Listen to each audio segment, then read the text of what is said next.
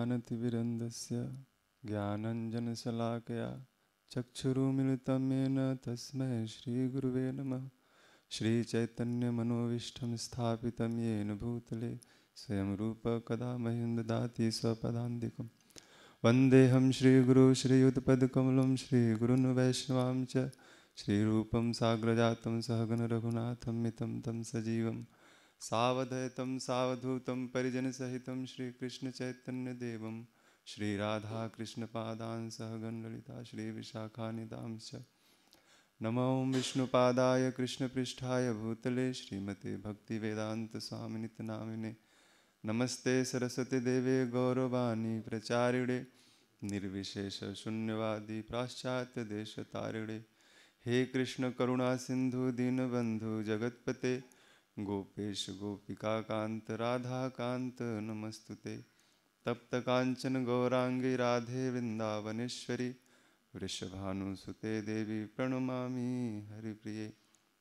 वाञ्छाकल्पतरुभ्यश्च कृपा सिन्धुभ्येव च, पतितानां पावनेभ्यो वैष्णवेभ्यो नमो नमः। जय श्री कृष्ण चैतन्य प्रभु नित्यानंद श्री अद्वैत गदाधर श्रीवासादि गौर भक्तवृंद हरे कृष्ण हरे कृष्ण कृष्ण कृष्ण, हरे हरे। हरे राम हरे राम राम राम, हरे हरे। नमो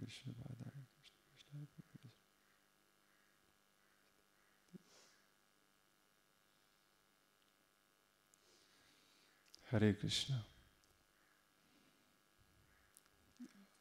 श्रीमद् भागवत अध्याय दस, श्लोक संख्या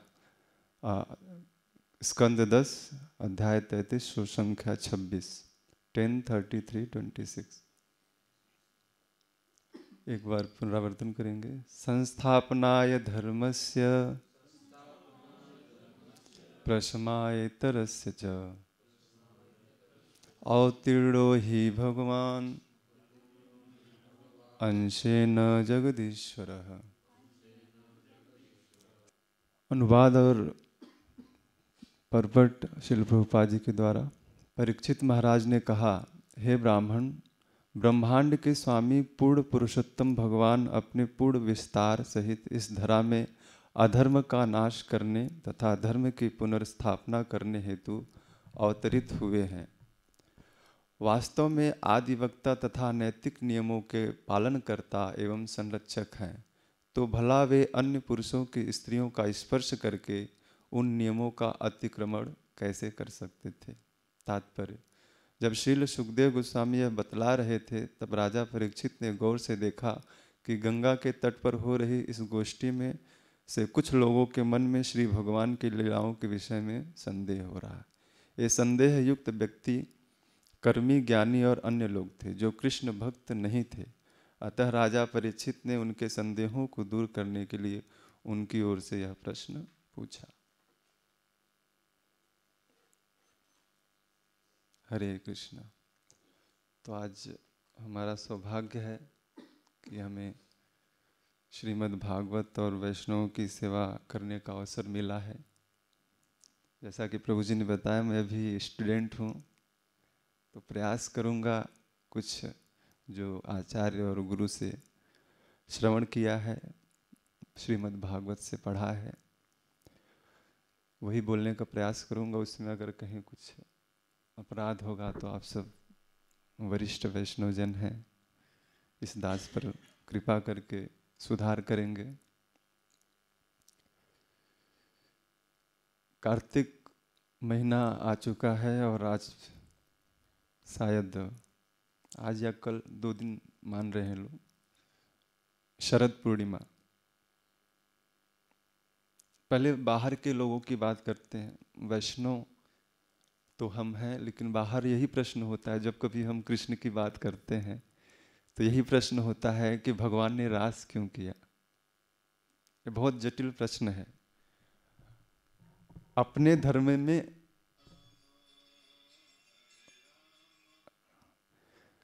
कोई और धर्म की बात करे तो शायद वे अपने धर्म में कुछ भी हो, उसमें संशय नहीं करते। आज जो भी चल रहा है, आप न्यूज़ व्यूज़ तो देखते ही होंगे, थोड़ा बहुत तो नॉलेज होता ही है कि दूसरे धर्म के जो भी प्रवर्तक हैं, उन पर भी संदेह नहीं किया जाता है।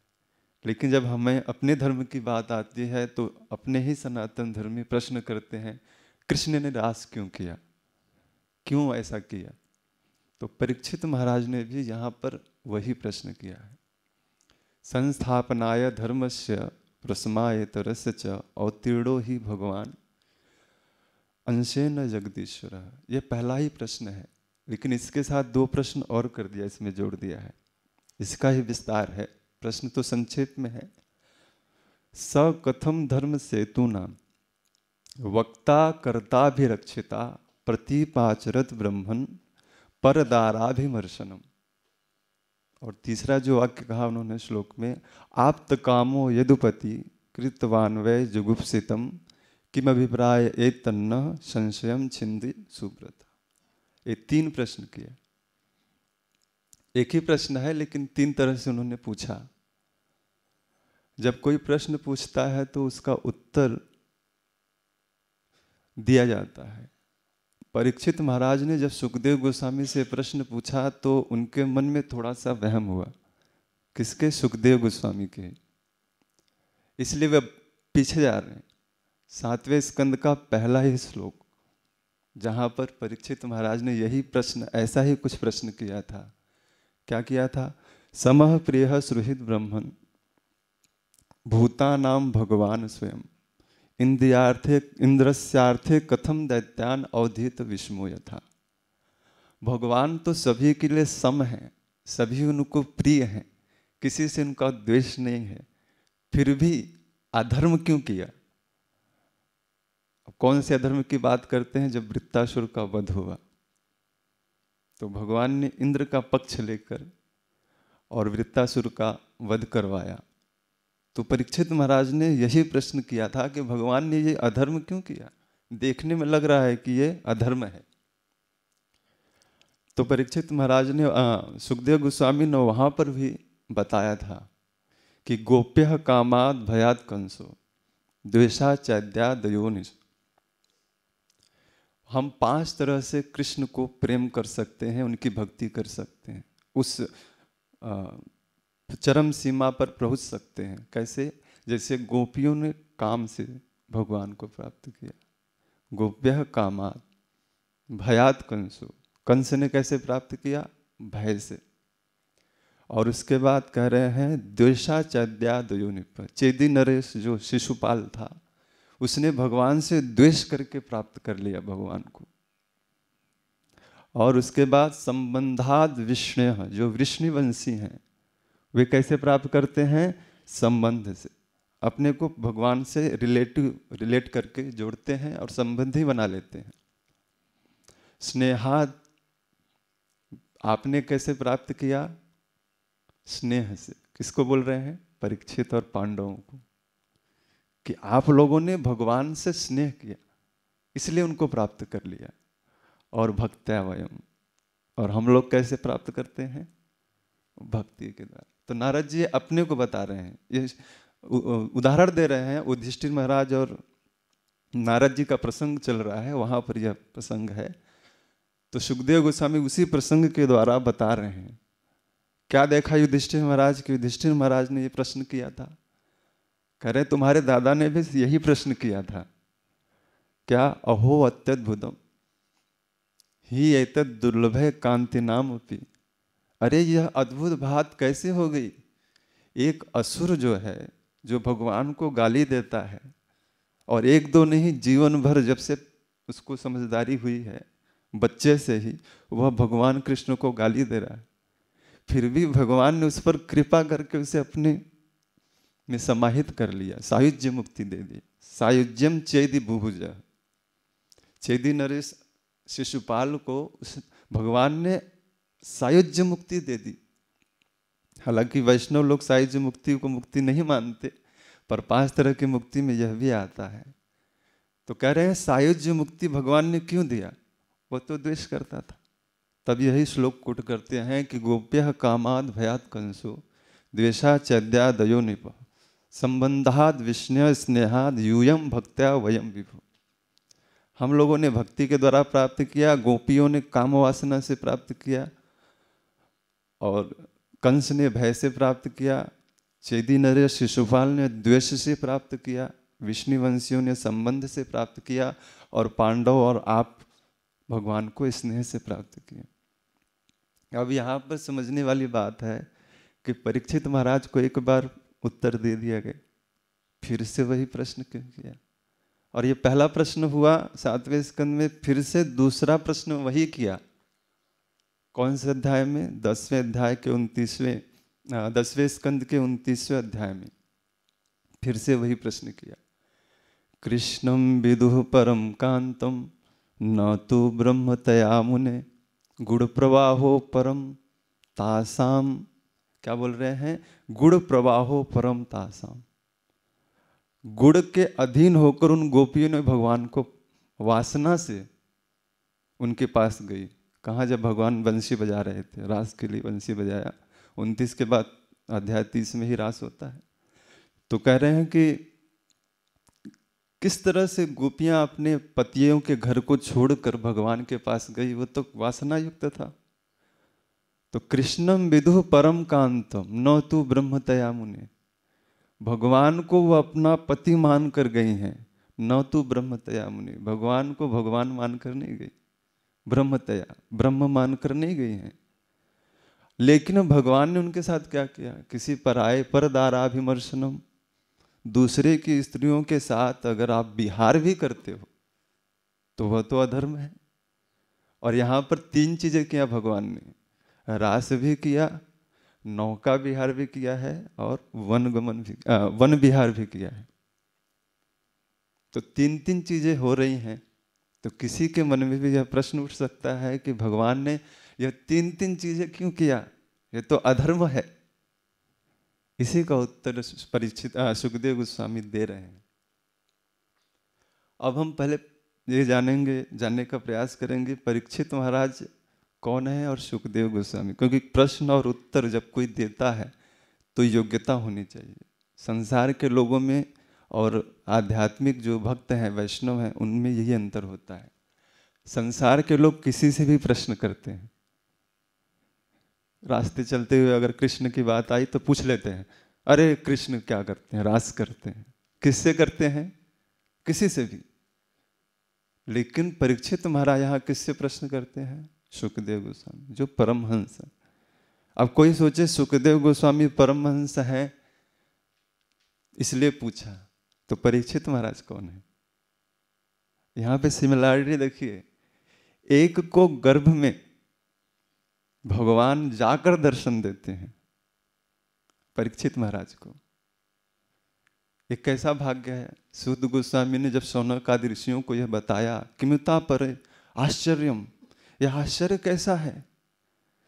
जो बच्चा अभी हम लोग क्या करते हैं? संसार के लोग जब साधना करते हैं, भजन करते हैं, भक्ति करते हैं, तब जाकर जीवन के अंत में कहीं भगवान की प्राप्ति होती है या नहीं होती है?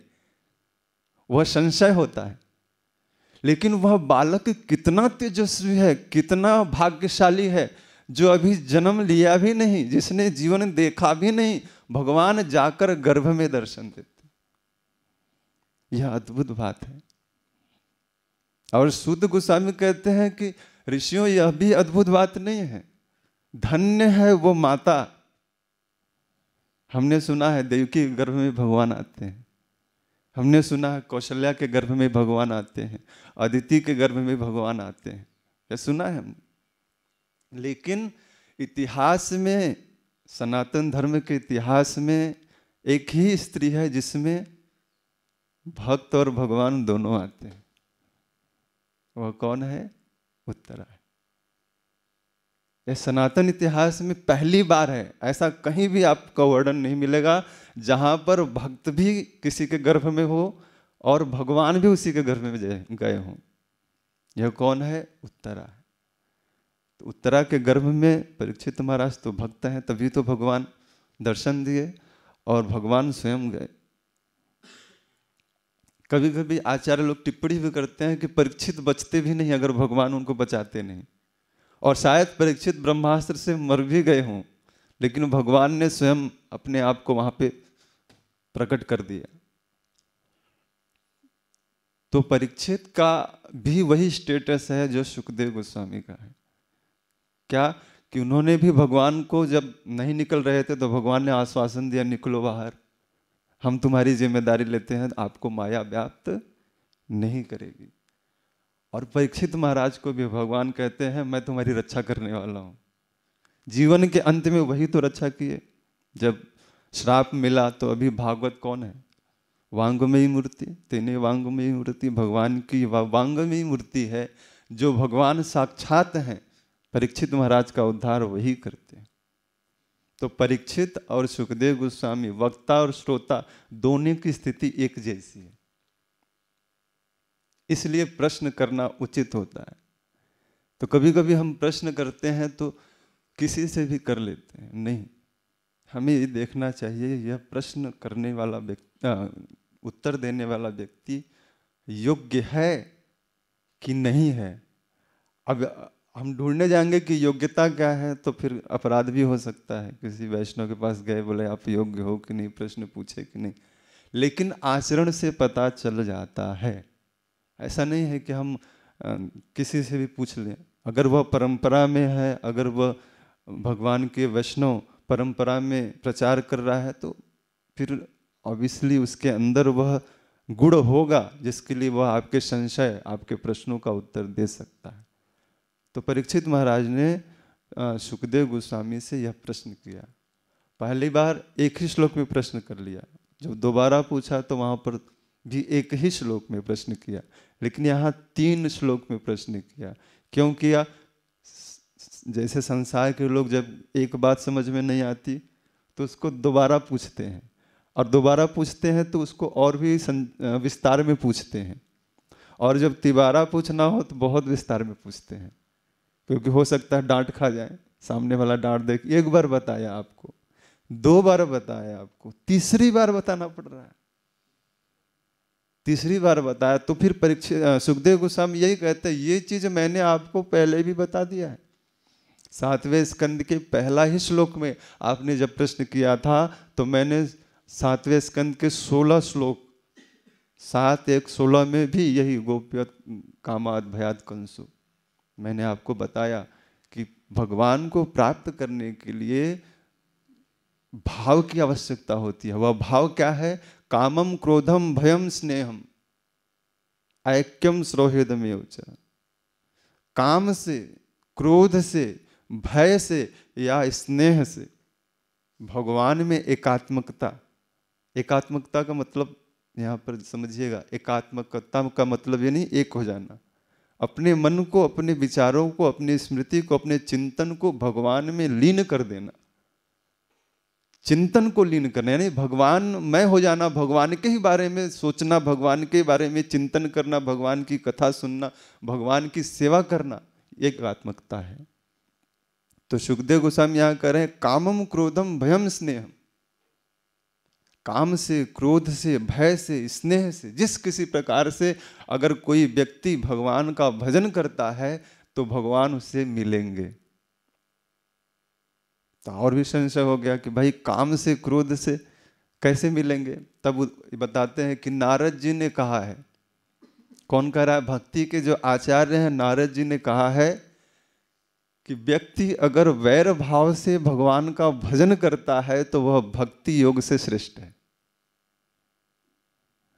तो ये विचित्र बात हो गई कि वैर भाव से अगर कोई भजन करे भगवान का तो वह भक्ति योग से श्रेष्ठ कैसे हो सकता है?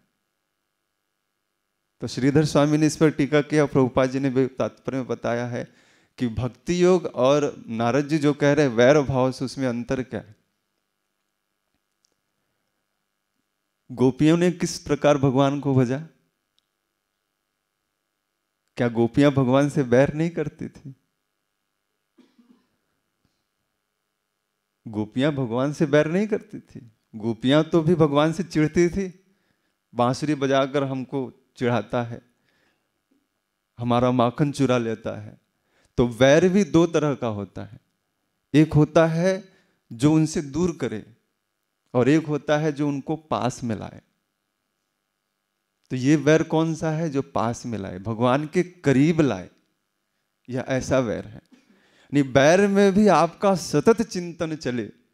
संसार की दृष्टि में देखेंगे तो जैसे कोई किसी से प्रेम कर रहा हो और किसी के प्रति हमेशा उसका ही चिंतन करे, भले ही वो न मिले, उससे द्वेष हो जाए, लेकिन उसका ही चिंतन करे, वैर करे, लेकिन चिंतन हमेशा उसी का तो कर रहा है। तो ऐसे ही भगवान जब गोपियों को नहीं मिलते हैं तो वही वैर भावना से वे प्रेम करती हैं। परकिया भाव कहते हैं। स्वकीय भाव और परकिया भाव। दो भाव होता है और गोपियों का भाव परकिया भाव है। न मिलने पर जो अंदर दुख होता है, न मिलने पर जो अंदर भगवान के प्रति विक्षोभ होता है, न मिलने पर जो भगवान के प्रति द्वेष होता है वही परिकिया प्रेम है।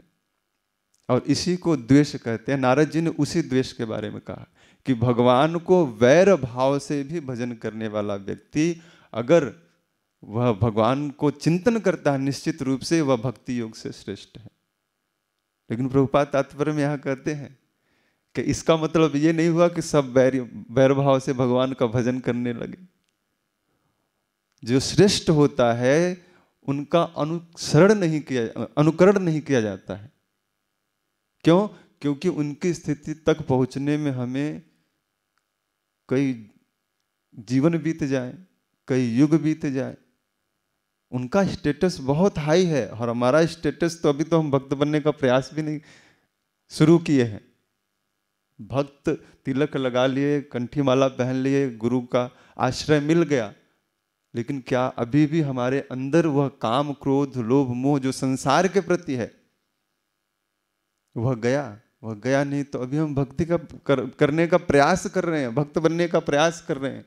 तो अनुसरण जो है अनुकरण जो है उसका किया जाता है जो हमारे लेवल का हो हमसे श्रेष्ठ हो। यद्यति आचरित श्रेष्ठ तत्त एवे तरोजना भगवान भी कहते हैं लेकिन कौन से श्रेष्ठता जो एकदम हाई लेवल का, शंकर जी का हम थोड़ी अनुकरण कर सकते हैं? हमसे थोड़ा सा जो श्रेष्ठ है, हमसे भक्ति में थोड़ा आगे है वो, हम उसके पीछे पड़ जाएँ और उसका अनुसरण करें तो श्रेष्ठता है, सो तो बुद्धिमत्ता है। लेकिन अगर हम सोचें कि नहीं नहीं, हम तो बग आप शंकर जी, इंद्र जी, यहाँ पर श्रीपाद श्रीधर स्वामी ने टीका में लिखा है कि ब्रह्मा, इंद्र और सोम का वर्णन दिया है, उदाहरण दिया है कि ये तीनों ही अधर्म किए थे। ब्रह्मा जी ने भी किया था, इंद्र ने भी अधर्म किया था और चंद्रमा ने भी अधर्म किया था। ईश्वर, दो तरह के ईश्वर का वर्णन है। एक तो परमात्मा स्वयं है, भगवान ईश्वर है। ईश्वर का मतलब होता है समर्थ। अकर्तुम कर्तुम सर्वसमर्थ ईश्वर। जो सभी न करने योग्य कार्य भी कर ले, फिर भी उसको बंधन नहीं हो, वही ईश्वर है, समर्थ है। तो यहाँ पर ईश्वर का जो उदाहरण दिया है तो दो तरह के ईश्वर हैं। एक है जो परमात्मा स्वयं है, उससे श्रेष्ठ कोई ईश्वर नहीं है, और दूसरा ब्रह्मा, शिव, इंद्र और सूर्य को भी ईश्वर कहा जाता है। यहाँ तक कि सुखदेव गोस्वामी को भी ईश्वर कहा गया है। सर्वभूत हृदय मुनिमान तो उसमें। जब हम पढ़ते हैं भागवत के पहले स्कंद के दूसरे अध्याय का दूसरा श्लोक है। हम्म, यम प्रवजंतम अनुपेतम पेत कृत्यम तो यहाँ पर आता है सर्वभूत हृदय मुनिमान तो उसमें। ईश्वर ही तो सबके हृदय में निवास करता है तो सुखदेव गोस्वामी को कहीं कहते हैं कि वो सभी के हृदय में निवास करने वाले हैं? करने वाले हैं का मतलब वो सभी के हृदय में जा सकते हैं। उसके अंदर की बात को जान सकते। तो वह भी तो ईश्वर जैसे ही है। शिव जी ईश्वर जैसे ही हैं। ब्रह्मा जी ईश्वर जैसे ही हैं। गायत्री हम करते हैं, भगवान नारायण, सूर्य नारायण, ईश्वर जैसे ही हैं। लेकिन ईश्वर नहीं है। तो दो तरह के ईश्वर हुए। एक जो कहा जाता है, उपमा दी जाती है कि आप समर्थ हैं। तो ईश्वर का मतलब जिनके अंडर में माया भी आ सकती है। योग माया नहीं, माया सिर्फ़। भगवान शिव के अंडर में माया माया देवी उन्हीं की पत्नी है तो अंडर में ही है। तो सृष्टि रचना क्रम में को छोड़कर जो सब कार्य कर ले, वह भी ईश्वर है। तो शंकर जी भी वही ईश्वर है, ब्रह्मा जी भी ईश्वर कहला सकते हैं। और इंद्र को भी ईश्वर कहा गया है। अन्य पुराणों में भगवान नारायण, सूर्य नारायण को भी, गायत्री में भी हम कहते हैं। तो ईश्वर की यहाँ उपमा दी गई है, लेकिन अब क्या कह रहे हैं? धर्म व्यतिक्रमो इष्ट ईश्वराणाम च साहसम। अधर्म करना, धर्म के विपरीत कर्म करना, धर्म के विपरीत आचरण करना, यह किसका काम है? ईश्वर का काम है। वह कर सकता है। तेज़ी या शाम न दोषाय वहने सर्व बुझो यथा। अब उदाहरण दे रहे हैं कि जैसे अग्नि अग्नि है उसमें जूता डालो, चप्पल डालो, कूड़ा डालो, करकट डालो, गंदा डालो, मल डालो, कुछ भी डालो, वह सबको स्वीकार कर लेती है, सबको एक्सेप्ट कर लेती है और सबको अग्नि जैसा बना देती है। लेकिन कहोगे कि इसमें मल गया है यह अशुद्ध है, अग्नि कभी अशुद्ध होती है? अग्नि कभी अशुद्ध नहीं होती। वह शुद्ध ही रहती है। और जो भी चीज़ उसमें डाला जाता है वह अग्नि स्वरूप हो जाता है। लोहा डालोगे, लोहा को अपने स्वरूप दे देगी वह चमड़ा डालोगे, चमड़ा भी जलेगा तो उसका ही स्वरूप हो जाएगा। तो अग्नि में दोष नहीं होगा। यहाँ पर रामचरित मानस में भी एक श्लोक में कहा है कि समर्थ के नहीं दोष गोसाई, रवि पावक सुरसर के नहीं यहाँ पर तीन उदाहरण दे दिया गोस्वामी जी ने। रवि, पावक और सुरसरी, गंगा। सूर्य मल पर भी पड़ता है, यज्ञ पर भी पड़ता है, घर में भी पड़ता है, मंदिर पर भी पड़ता है। तो मल पर जब सूर्य की रोशनी पड़ती है तो क्या सूर्य अशुद्ध होता है? अशुद्ध नहीं होता। गंदा ही साफ़ हो जाता है कुछ दिन में। अगर सूर्य न रहे तो गंदगी कभी साफ़ नहीं हो सकती। लेकिन सूर्य है इसलिए गंदगी साफ़ हो जाती है। तो सूर्य उस गंदगी को स्वीकार करता है, गंदे पानी को सोख लेता है। जहाँ तालाब है, नदी है, बहुत सारे जल को वह सोख लेता है। लेकिन कोई कहे, सूर्य गंदा हो गया, अशुद्ध हो गया तो यह संभव है? नहीं। तो सूर्य में कोई दोष नहीं होता। क्यों? क्योंकि वह समर्थ है, वह ईश्वर जैसा है। उसमें ईश्वर की शक्तियाँ विद्यमान है। तो सूर्य में कोई दोष नहीं दे सकता, अग्नि में कोई दोष नहीं दे सकता। चलो, अभी भी आपको मन में संशय हो। तो गंगा का उदाहरण दिया। गंगा में नाला बह रहा है, हज़ारों नाले बह रहे हैं, लोग मल वहाँ पर धो रहे हैं, लोग मूत्र कर देते हैं, गाय, भैंस, सुअर, एक घाट पर सुअर पानी पी रहा है, दूसरे घाट पर ब्राह्मण आचमन करके भगवान को जल छिड़क रहा है। कोई तालाब का पानी आए अगर ऐसे इधर उधर का तो कहेंगे, तालाब का पानी गंदा है, नहीं, लेंगे शुद्ध है। लेकिन गंगा में जाते हैं तो वही ब्राह्मण गायत्री निकाल के करता है और भगवान को ओम पवित्रम पवित्रम सब पवित्र कर देता है।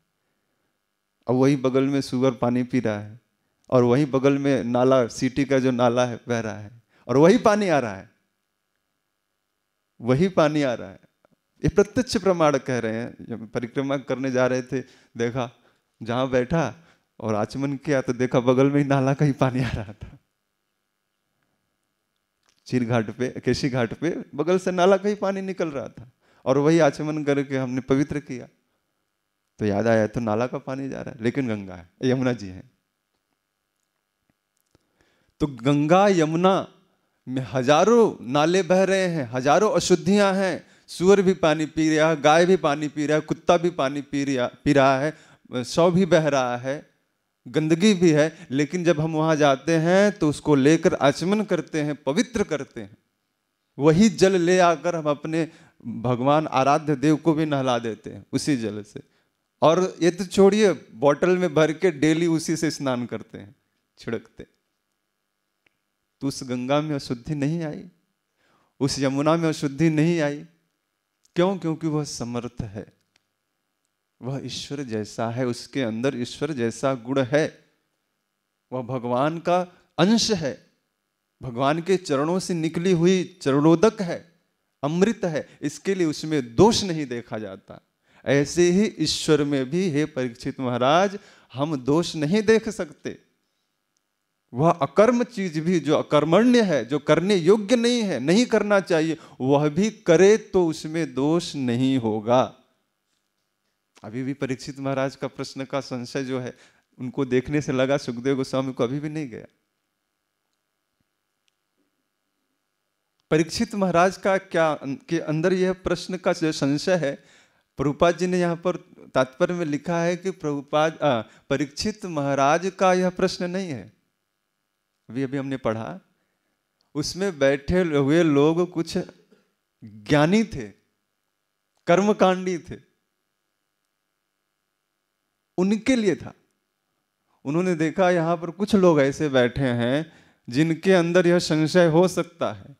और परीक्षित महाराज ने सोचा कि अभी तो कलयुग का आरंभ भी नहीं हुआ था। जिसे भगवान गर्भ में भी दर्शन दे चुके हों, वह भी कलयुग के प्रभाव से, श्राप से ग्रसित हो जाए। तो कलयुग में आने वाले लोग, उनका क्या होगा? कलयुग तो उनके मति को भ्रष्ट कर देगा। बार बार पूछेंगे। बार बार यही प्रश्न करेंगे। बार बार आक्षेप लगाएँगे। क्योंकि दोष देखना ही उनका गुण है।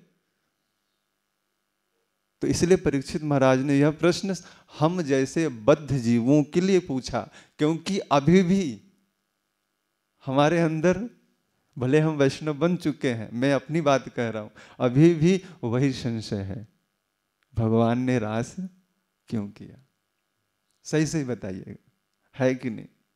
अभी भी वह संशय है, क्योंकि जिस दिन वह संशय मिट जाएगा, उस दिन कहीं न कहीं हमारे अंदर वह चेतना जागृत हो जाएगी। फिर हम किसी का दोष नहीं देखेंगे। और जब तक पर दोष देख रहे हैं, तब तक समझ लीजिए, हम उस लेवल पर, स्टेटस पर नहीं पहुँच पाए। इसीलिए वह दोष दिख रहा है। तो कहीं ना कहीं कृष्ण भगवान है कि नहीं है? कृष्ण ने रास क्यों किया? यह संशय दो प्रश्न हमारे अंदर अभी भी जागृत अवस्था में है, सुप्त अवस्था में नहीं, जागृत अवस्था में। कोई कितना भी कह ले, नहीं नहीं, हमारे अंदर वो प्रश्न नहीं है। हमारे अंदर बहुत श्रेष्ठ वो वैष्णव होगा, लेकिन कहीं ना कहीं यही बात आती है, भगवान ने दूसरे की पत्नियों के साथ ऐसा राशि क्यों किया? ऐसा कर्म क्यों किया? क्या उनकी सुंदरता में कोई कमी थी? क्या उन्हें कुंवारी लड़कियाँ नहीं मिल सकती थी? लेकिन गोपियों के साथ रास क्यों किया? अब यहाँ पर थोड़ा सा विस्तार में जाएँगे। भगवान की उम्र कितनी थी? जब भगवान ने रास किया उनकी उम्र? कोई? हाँ, सात साल। सात से नौ साल के बीच में तो भगवान की उम्र सात साल है। संसार की दृष्टि से देखते हैं।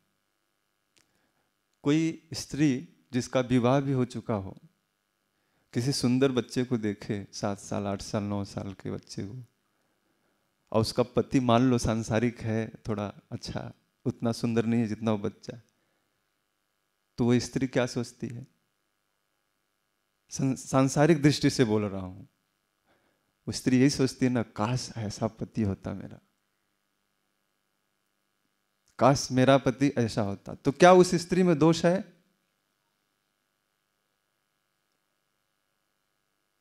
बोलिए। क्या उस स्त्री में दोष है? अगर वह किसी बालक को देखकर कहे, काश अपने पति के सामने भी कहे, काश मेरा पति ऐसा सुंदर होता क्या तुम ऐसे सुंदर होते। क्या उसमें दोष है? क्योंकि बालक है, वासना और अधर्म तब होता है जब आप बराबरी में करते हो। जब बच्चा है तो बच्चा तो भगवान का स्वरूप होता है, इसलिए कहते हैं भगवान का स्वरूप। तो स्त्री जब किसी बच्चे को, सात साल के बच्चे को देख कर कहती है, इतना सुंदर है ये, मैं तो इसे पति रूप में वर्ण करूँगी। इसलिए कात्यायनी की पूजा किया कृष्ण को प्राप्त करने के लिए गोपियों ने एक महीने तक कात्यायनी व्रत किया। तो किसी बच्चे को अगर छोटा है सात साल का, उसका सौंदर्य देखकर उसमें अगर वासना भी आ जाए तो वासना गलत नहीं होती। क्योंकि वह बच्चा है, वह बड़ा नहीं है, वह अधर्म नहीं है। कोई छोटा बच्चा हो, हम उसे चुंबन भी ले लेते हैं। कोई बुरा नहीं मानता। आज के समय की बात नहीं कर रहा हूँ, आज के परिदृश्य तो बहुत ही दूषित हो चुके हैं। लेकिन जब कोई बच्चा रहता है, किसी का भी बच्चा हो, रास्ते में चल रहा हो, दौड़ रहा हो तो देखकर कभी कभी गोद में उठा लेते हैं और उसका चुंबन ले लेते हैं। लेकिन कोई बोलता नहीं, प्रेम है ये। ये कैसा प्रेम है? वही चुंबन किसी बड़े व्यक्ति को, पंद्रह साल के लड़के को लो, बीस साल के लड़के को लो तो लोग अधर्म कहेंगे, निंदा करेंगे, डांटेंगे। लेकिन वही चुंबन अगर पाँच साल, सात साल, नौ साल के बच्चे को लेता है कोई स्त्री तो उसमें उस दोष नहीं दिखता। तो क्या यहाँ पर, एक प्रश्न है तो क्या यहाँ पर वह इक्वेशन नहीं लग सकता? यहाँ पर भी तो वही इक्वेशन लगना चाहिए ना। अगर संसार के मनुष्य, संसार की स्त्रियाँ, सांसारिक स्त्रियाँ, भगवान आ, किसी बालक का चुंबन भी करती हैं प्रेम भी करती हैं तो लोग कहते हैं वो प्रेम है प्रेम से किया। अरे वो बच्चा है प्रेम से किसी ने उठा लिया। उसका पति डांट दे कि मेरे बच्चे को चुंबन ले रहे तुम क्यों नहीं बिगड़ी? अरे वो माता जी तो बच्चा था प्रेम कर ली रास्ते में चला मेरा बच्चा इतना सुंदर है तो क्या करे? कोई भी प्रेम करता है आपको क्यों बुरा लगता है? तो ऐसे ही जो संसार से संसार में सबसे सौंदर्यशाली है सबसे सुंदर है। अगर कोई स्त्री पुरुष उसको देखकर आकर्षित ना हो तो उसका कृष्ण नाम कैसा? कृष्ण नाम कैसा? जिससे आकर्षण ही। हो मैं तो कहता हूँ पर्सनल चीज़ है कि वृंदावन ही छोड़ो, भगवान जहाँ भी गए। अगर किसी को भगवान के प्रति उनके सौंदर्य को देखकर प्रेम न हो तो फिर वह कृष्ण नाम रखने लायक नहीं है। क्योंकि कृष्ण तो सर्वाकर्षक है, इसीलिए तो बोला गया ना, सर्वाकर्षक। जो सभी को आकर्षित कर ले, किसी भी एक व्यक्ति को न छोड़े, जो भी हो, जहाँ भी वह कृष्ण गए, सबको भगवान ने आकर्षित किया। आकर्षण में अब वहाँ भाव क्या है वो अलग बात है। किसी ने उनको शत्रु रूप में आकर्षित, आकर्षण देखा, अरे इनसे युद्ध करना चाहिए। किसी ने मित्र के रूप में देखा, किसी ने वात्सल्य के रूप में देखा, किसी ने माधुर्य के रूप में देखा। और भी उदाहरण दे रहे हैं सुखदेव गोस्वामी कि उस कुब्जा में ऐसा कौन सा गुण था कि उसने भी भगवान को प्राप्त किया? जबकि आप और हम सब पढ़ते हैं कि कुब्जा ने भी भगवान को काम रूप से ही चाहा था। भगवान का वस्त्र पकड़कर कहते हैं, बैठो, मेरे साथ विलास करो, कहाँ जा रहे क्या यह सही है? तो भगवान को प्रेम से, क्रोध से, काम से, जिस किसी प्रकार से, प्रभुपाद जी तात्पर्य में लिखते जिस किसी प्रकार से हमारा मन भगवान के स्मरण चिंतन में लग जाए तो हम भगवान को प्राप्त कर सकते हैं। लेकिन भक्ति योग की बात है, यहाँ पर अगर हम भक्ति योग से भगवान को प्रेम से प्राप्त करते हैं तो चिरकाल तक रहेगा। अनंत काल तक। आप भगवान की सेवा में रह सकते हो। आपका रिलेशनशिप स्टैब्लिश्ड हो जाएगा। इसलिए यहाँ पर परीक्षित महाराज ने जब दसवें स्कंद के उन्तीसवें अध्याय में प्रश्न किया तो कहते हैं कि कृष्णम विदुह परम कांतम, न तू ब्रह्म तया मुने। बहुत अच्छा श्लोक है ये।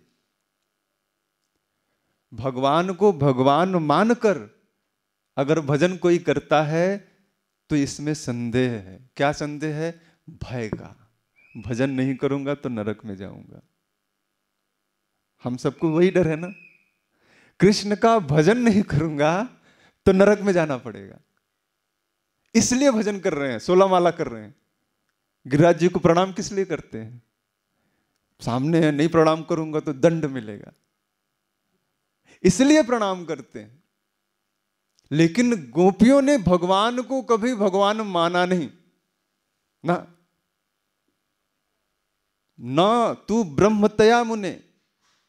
हे मुनीश्वर, उन गोपियों ने भगवान को ब्रह्म नहीं माना। उन्होंने अपना कांता माना, अपना पति माना, अपना प्रियतम माना। तो फिर उनको कैसे प्राप्त हो गई?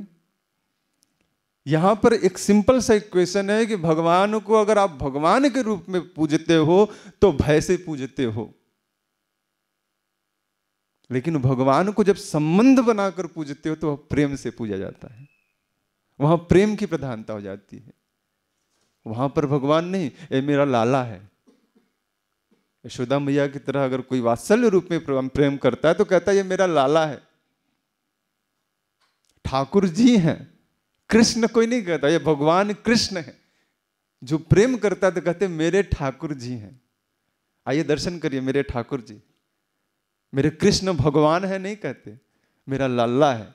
लड्डू गोपाल किसी क्या हो या राधा कृष्ण का विग्रह हो। कहते हैं, मेरा लल्ला है। तो संबंध बहुत ज़रूरी है। आपका भगवान के प्रति संबंध क्या है? यही प्रश्न मैंने गुरुदेव से पूछा था कि गुरुदेव, हमारा संबंध क्या है भगवान से?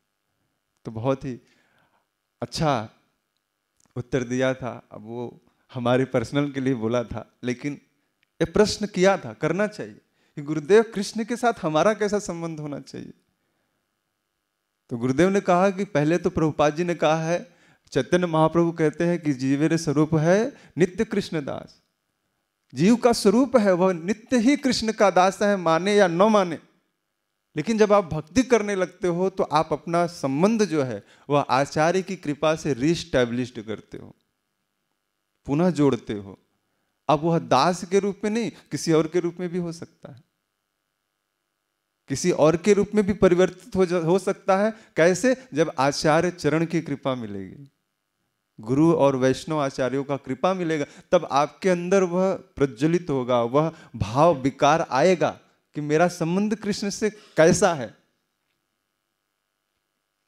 यह बहुत इंपॉर्टेंट है कि हमारा संबंध होना चाहिए। भगवान से, भगवान के रूप में प्रेम करेंगे तो यह मर्यादित है।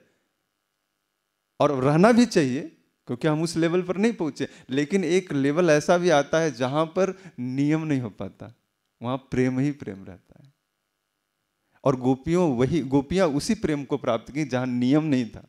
अगर नियम देखती तो फिर वो कहती है तो भगवान, इनके साथ अगर मैं कुछ गड़बड़ करूँगी, इनके साथ अगर मैं कुछ नोक झोंक करूँगी तो अपराध लग जाएगा। तो वह लेवल बहुत ऊँचा है, वहाँ पर हम नहीं जा सकते, उनका अनुकरण भी नहीं कर सकते। लेकिन इतनी अंडरस्टैंडिंग रख सकते हैं कि गोपियों ने भगवान के साथ ऐसा क्यों किया?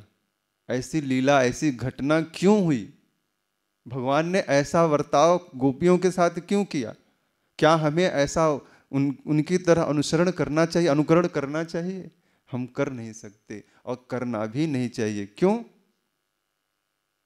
उदाहरण देते हैं हम लोग भी, लेकिन यहाँ पर सुखदेव गोस्वामी ने कहा है कि नैतत समाचरित जातु। मनसापि मन से भी है ईश्वर ईश्वर का मन से भी अनुकरण नहीं करना चाहिए। उन्होंने जो किया है, वह नहीं करना चाहिए। क्या कह रहे हैं? विनिश्चाचरणम मोढ़ात वह मूढ़ है। अपना ही विनाश करेगा। कैसे? रुद्रोब्धिजम विषम। जैसे भगवान शंकर ने विष पी लिया। और अगर वो मूड सोचे, मैं रुद्र हूँ, मैं भी विष पीऊँगा तो क्या वो बच पाएगा? नहीं बच पाएगा। तो यहाँ पर परीक्षित सुखदेव गोस्वामी यही कहते हैं, जैसे रुद्र ने विष पिया और उनको कुछ नहीं हुआ, क्योंकि वह ईश्वर है। लेकिन अगर कोई मूड व्यक्ति सोचे कि मैं भी रुद्र हूँ, मैं भी शंकर हूँ, मैं भी नाचूँगा, मैं भी भस्म लगाऊँगा, मैं भी चिता पर जाकर बैठूँगा, मैं भी स्मशान घाट में जाकर बैठूँगा, मैं भी साधना वैसी उच्च करूँगा। अगर वह ये सोचे और फिर बाद में सोचे कि पहले विष पी लेता तो क्या ज़िंदा बचेगा करने के लिए? नहीं बचेगा। तो इसलिए यहाँ पर सुखदेव गोस्वामी कहते हैं कि नहीं, ईश्वर ने जो किया है, वह जो कर्म करते हैं, देखने में तो अधर्म लगता है कभी कभी लेकिन वह हम नहीं कर सकते। तो श्रीपाद, श्रीधर स्वामी ने जो ब्रह्मा और इंद्र का और सोम का उदाहरण दिया है, उस, उसी पर दिया है, उसी आधार पर। और आप सब जानते हैं, उसमें डिटेल में नहीं जाना है, लेकिन ब्रह्मा ने भी वही किया। लेकिन कोई सोचे, मैं भी अनुकरण करूँ। इंद्र ने भी किया, कोई सोचे, फिर भी इंद्र रहा। इंद्र ने करने के बाद भी इंद्र था। चंद्रमा तो पूरा चंद्रवंश भी वैसे आया। आप देखेंगे कभी कभी जब हम पढ़ते हैं भागवतम और चंद्रवंश का वर्णन करते हैं तो सूर्यवंश में तो त्रुटि नहीं होती है, लेकिन चंद्रवंश में बहुत त्रुटि है। कभी कभी मन थोड़ा वो हो जाता है।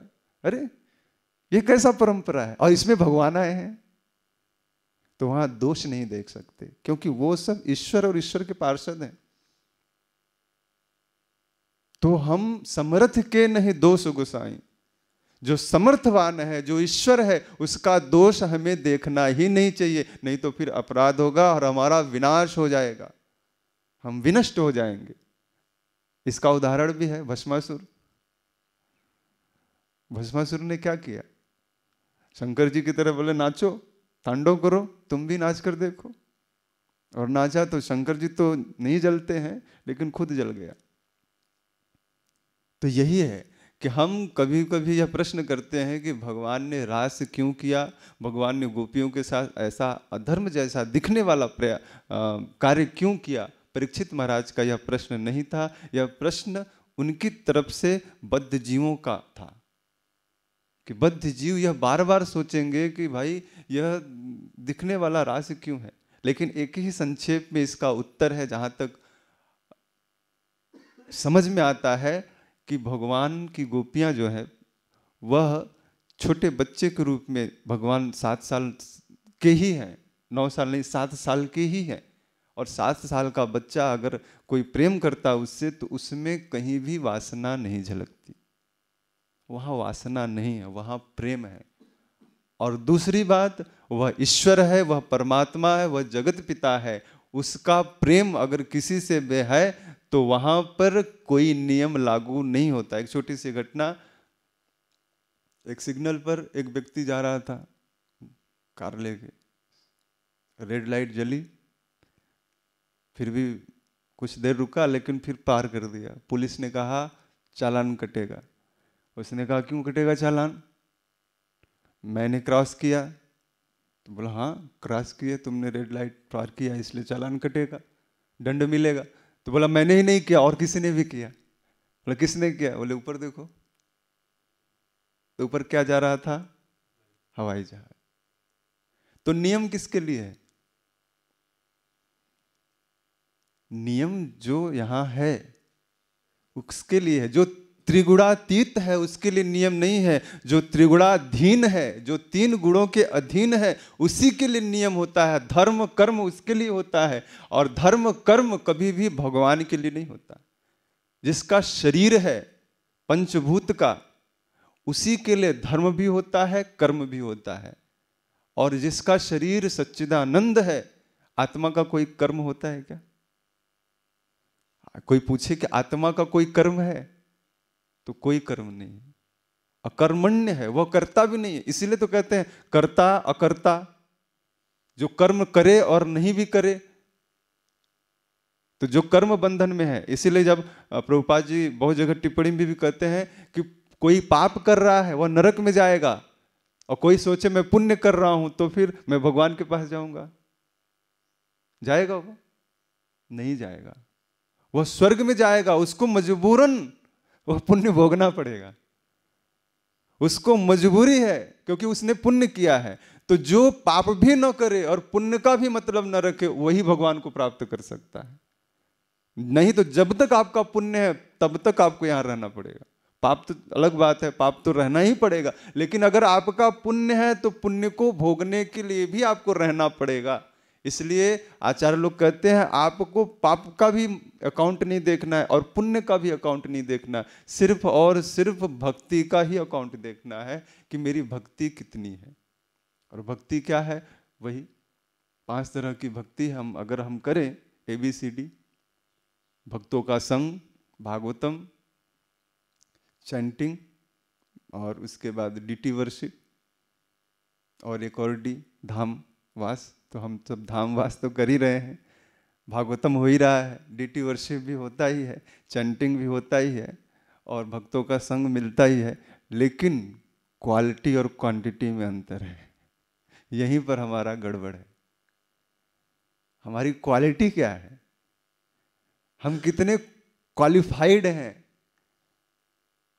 बहुत विचित्र लगता है। अपने लिए भी मैं बोल रहा हूँ, बहुत विचित्र लगता है। हम माला जब तो कर रहे हैं, लेकिन कभी बैठते हैं, अकाउंट सोचते हैं, कितने माला में कितनी बार राधा कृष्ण का ध्यान आया। नाम और भगवान में अंतर नहीं है, जीवा पर नाम चल रहा है, लेकिन फिर भी अगर भगवान सामने आ जाए, क्या हमारी मजाल है, हम बोल पाएँगे? लेकिन वही नाम, वही कृष्ण और राधा हमारी जीवा पर चल रहे हैं और हम मोबाइल देख रहे हैं। बात कर रहे हैं। एक क्वालिटी की बात कर रहा हूँ, देखिए। हम उस योग्य नहीं है कि बोलें, लेकिन यहाँ बैठे हैं तो थोड़ा सा कुछ हो सकता है हम सबके जीवन में वो सुधार हो जाए। डिस्कशन चल रहा है ना ये। तो वही चीज़ है कि राधा और कृष्ण, किसी ने हमसे पूछा, जब मैं मुंबई में था तो किसी ने पूछा कि आप हरे कृष्ण हरे कृष्ण कर रहे हो? और फिर मान लीजिए भगवान आ गए और आप किसी से बात कर रहे हो तब? हरे कृष्ण हरे कृष्ण कर रहे हैं और फिर किसी से बात करने लगे, भगवान सामने खड़े हैं। ये तो उनकी बेजती हो गई ना? कोई आप सामने आ जाओ और आप बहुत ही ऊँचे पद पर हो और कोई दास हो, कोई नौकर हो, और रुको एक मिनट, बात करने दो। कैसा लगेगा? लेकिन फिर भी भगवान दयालु हैं, कृपालु हैं, वो जानते हैं, ये बद्ध है। फिर भी हमको वह सहूलियत दे रहे हैं। ठीक है, कोई बात नहीं, अपराध भी कर रहे हो, नामा नामापराध भी हो रहा है। एक दिन नामाभास के लेवल पे आओगे और एक दिन शुद्ध नाम होगा। नाम जप करोगे, लगे रहो। लेकिन कब तक लगे रहेंगे? जब तक यह क्वालिटी वाली बात हमारे मन में नहीं बैठेगी कैलकुलेटर हमारे मन में नहीं आएगा। शाम को सोने से पहले हम ये नहीं सोचेंगे, आज हमने कितना अच्छा जप किया, कितना अच्छा सेवा किया, कितना अच्छा भक्तों के संग में व्यवहार किया। जब तक हम अपना मूल्यांकन नहीं करेंगे, हम उस लेवल पर नहीं पहुँच सकते। हमारे मन में यह संशय रहेगा ही रहेगा। भगवान की लीलाओं में श्रद्धा नहीं आएगी। हम कितना भी सुन ले कितना भी पढ़ लें, कितना भी बड़े बड़े आचार्यों का टिप्पणी, टीका पढ़ लें, लेकिन जब तक अंदर से हम अपना मूल्यांकन नहीं करें, गलती बाहर नहीं है, यही श्रीमद् भागवत है, जो आचार्य लोग भी पढ़े थे। प्रभुपाद जी ने भी पढ़ा, और यही श्रीमद् भागवत है, हम लोग भी पढ़ रहे हैं, हमारे जीवन में कितना अंतर आया? कितना अंतर आया?